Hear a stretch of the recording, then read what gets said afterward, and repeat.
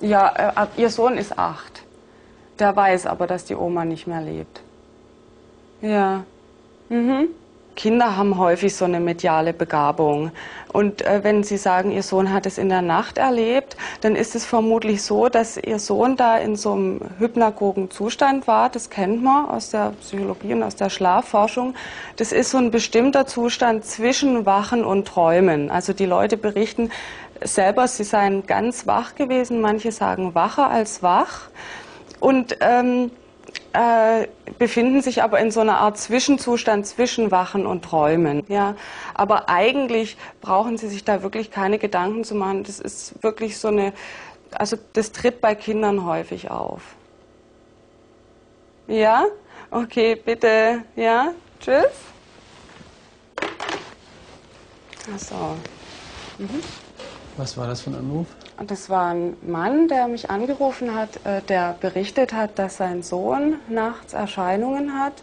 Das heißt, der Sohn hat seinem Vater erzählt, er hätte nachts im Bett gelegen und er hätte dann am Bettrand die Oma sitzen sehen, die schon verstorben ist. Der Sohn ist acht und ähm, was jetzt den Mann auch irritiert hat, ist, dass er, also der Sohn kennt die Großmutter auch von Fotos, und was den Mann ein bisschen irritiert hat, war, dass er sagt, dass der Sohn beschrieben hat, wie die äh, Großmutter eine Schüssel, eine weiße Schüssel mit roten Punkten auf dem Schoß gehabt hätte und er hätte noch mal alle Bilder nachgeguckt.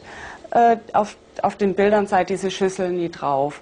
Und er sagt jetzt also, der Sohn konnte ja nicht wissen, äh, dass diese Schüssel, dass die existiert hat. Und für, für den Vater hatte die Schüssel aber eine besondere Bedeutung. Also da gab es mal einen Krach mit der Großmutter, wo die Schüssel eben eine besondere Rolle gespielt hat.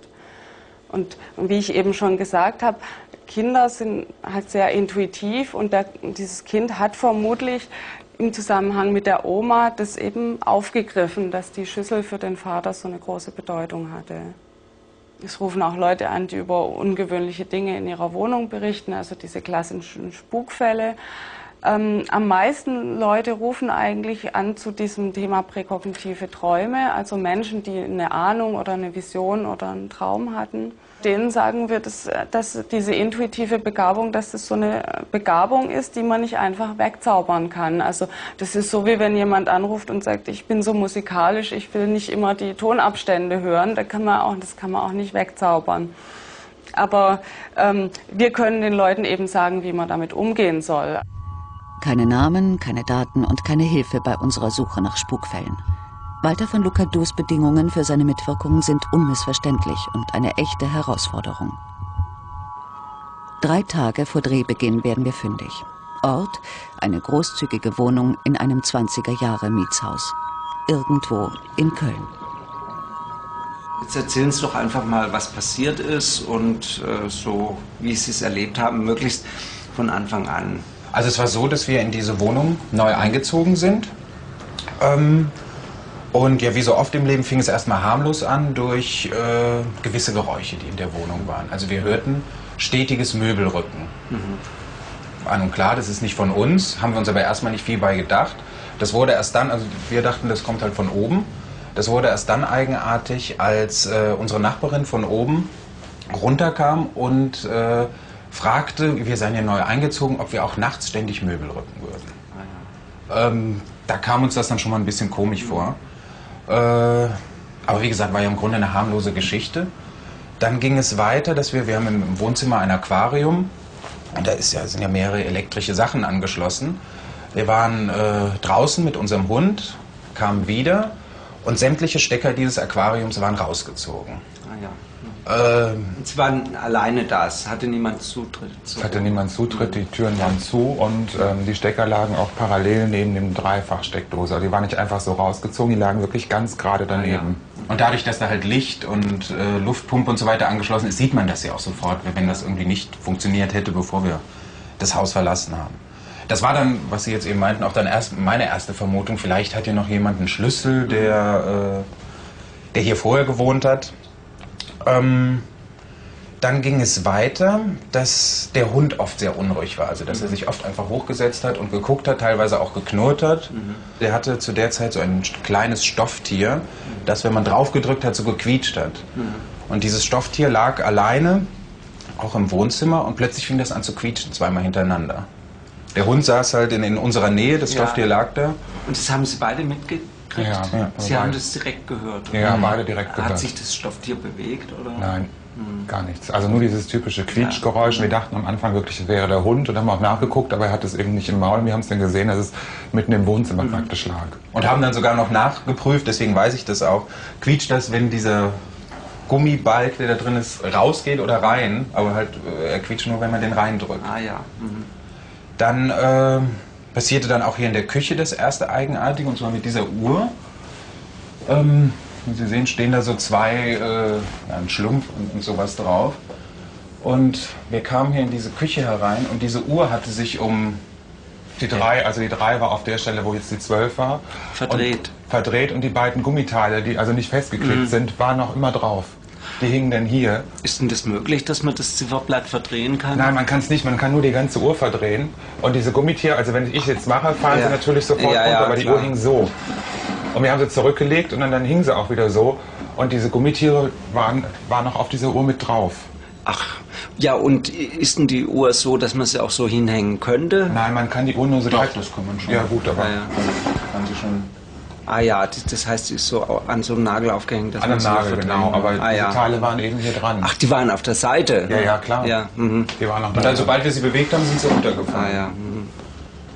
Und, aber das waren immer noch Sachen, die uns eher belustigt als äh, beunruhigt haben. Dann kam eigentlich das erste äh, krassere Ereignis. Da waren wir hier in der Küche und haben halt diese Schränke eingeräumt.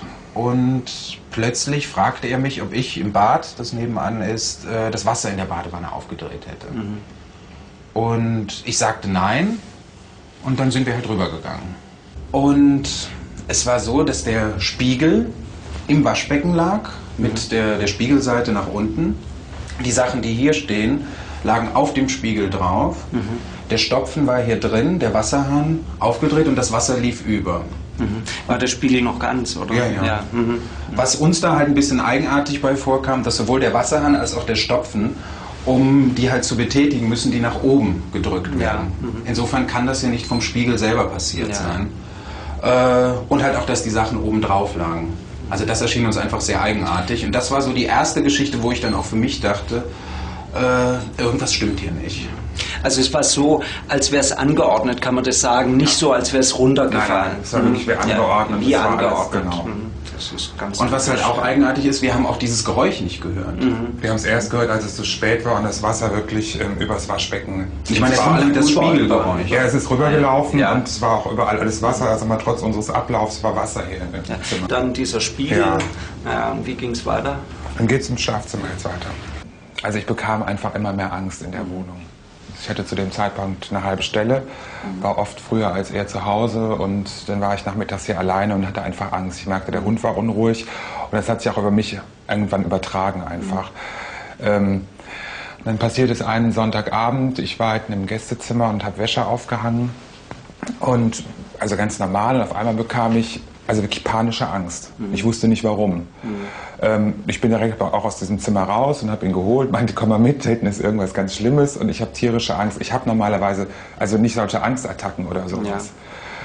Und ähm, ja, dann wusste ich mir zumindest nicht mehr viel zu helfen und dachte mir, was machst du jetzt? Und hier in Köln gibt es so einen, so einen Esoterikladen, dachte ich mir, vielleicht können die dir helfen. helfen. Dann bin ich in diesen Esoterikladen rein.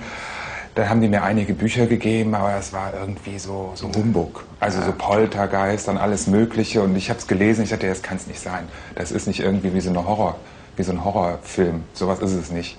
Und diesen Eindruck hatte ich eben die ganze Zeit. Bin dann aus diesem Laden wieder raus und die Frau an der Kasse, also die Kassiererin, hat mich gefragt, haben Sie nichts gefunden? Meinte ich, nee, meinte sie, ja schade, bei Ihnen passiert ja so viel. Und da stand eine Kundin im Laden. Sie sagte, sie hätte Erfahrung mit diesen Sachen. Ihr wäre solche Sachen auch schon mal passiert. Und ich sollte eben irgendwie so einen Kreis aus Meersalz machen und ähm, so eine Dreitages- oder so eine Sieben-Tages-Kerze aufstellen, die man so auf den Friedhöfen normalerweise hat. Also ich höre das alles bizarr, hört sich das natürlich an jetzt. Ich habe es trotzdem gemacht, weil ich eben versuchen, ja eben, schaden kann es nicht. Also schlimmer werden kann es, denke ich mal, auf Ja. keinen Fall. Wir haben es auch gemacht und wir hatten seltsamerweise Ruhe. Drei Tage lang. Und nach drei Tagen war diese Kerze ausgebrannt und dann ging es eigentlich richtig los. Ja, Das hätte ich Ihnen voraussagen können. ja. ja, ja, aber das ist interessant für mich, ja, weil, Ja. weil das eine typische Struktur ist. Aber Ja. jetzt erzählen Sie mal weiter. Das erste, das war noch in der gleichen Nacht dann im Grunde. Wir lagen im Bett und hörten auf einmal dann von draußen einen wirklichen Lärm, der sich nach zerbrochenem Glas anhörte. Also wir dachten, entweder ist ein, ein, Fenster in, in den Rahmen gefallen oder eine Tür oder sonst was oder es hat jemand eingebrochen. Wir hörten noch Schritte über den Flur und wir dachten einfach, es ist ein Einbrecher hier. In der, also wir haben an das überhaupt nicht gedacht. Wir dachten wirklich, es ist ein Einbrecher in der Wohnung. Ja. mhm. Wir sind draußen, es war wirklich nichts zu sehen. Die Türen waren zu, die Fenster waren alle zu. Ja, und dann, äh, das war dann einen Abend später. Ich war hier alleine im Schlafzimmer und äh, schlief halt. Und habe dann so im Halbschlaf plötzlich ein Geräusch gehört. Und ich habe eigentlich keinen leichten Schlaf. Ich mache so nachts so gut wie nie auf. Und meine erste Assoziation war, da klopft jemand so in der Weise mit einem 10-Pfennig-Stück auf die Fensterbank. Und ja, in der Sekunde oder in, in dem Moment, wo ich so vom dem Stadium des Halbschlafes in, in, in den Wachenstatus kam, hörte dieses Geräusch auf. Ich spürte so etwas wie, ich weiß nicht, ob man es Luftzug nennen kann, aber auf jeden Fall, es bewegt sich etwas durch den Raum. Ja. Das Ganze dauerte vielleicht so eine halbe Sekunde und dieses gleiche Geräusch wurde dann an der Tür fortgesetzt. Sie haben die Tür aufgerissen. Ja. Und dann? Dann war das Geräusch erstmal weg, dann habe Ja. Mhm. ich mich wieder ins Bett gelegt und habe eigentlich ganz normal weitergeschlafen. Am nächsten Morgen bin ich einige Zeit vor ihm aufgestanden. Mhm. Ach so, war er auch da? Nee, er war äh, so, im anderen in einem Raum. anderen Ah, Raum. ja. Also er hat die Geschichte an so gar nicht Ah, ja. miterlebt. Äh, am nächsten Morgen bin ich dann einige Zeit vor ihm aufgestanden und als ich dann die Tür aufmache, fällt mein erster Blick auf den Boden im Flur und da lag eben ein 10-Pfennig-Stück. So mein Gedanke war, also jetzt nicht noch mich in das Ganze involvieren. Ich habe hiermit nichts zu tun. Ah. Also Sie waren sozusagen, Sie hatten auch nicht so eine Panikattacke, sondern Nee. Sie haben das mehr so als ein Spiel gesehen. Wie haben Sie es denn betrachtet? Also wenn, wenn Sie, für Sie war Also es kein Spiel, oder? Nee, nee, für mich war es kein Spiel. Ich hatte Mhm. Angst. Also ist am Anfang natürlich nicht so stark. Ich habe es mir auch versucht irgendwie zu erklären. Und auch mit Mhm. diesem Waschbecken dachte ich, vielleicht ist da irgendwas runtergefallen, das kann passieren. Ähm, aber die Angst wurde eben immer stärker. Mhm. Wir saßen drüben im Wohnzimmer und äh, an dieser Wand hängt eine Ikone und beziehungsweise da hingen drei Ikonen und wir saßen halt einfach auf diesem Sofa und plötzlich gab es ein ganz äh, ein relativ lautes Geräusch für einen äh, stillen Raum. Das war wirklich in, in der Weise und wir guckten beide, ohne dass wir vorher gesprochen haben, guckten auf diese Ikone drauf und es kam für uns dann halt wirklich aus dieser Ikone raus. Wie lange dauerte das ungefähr?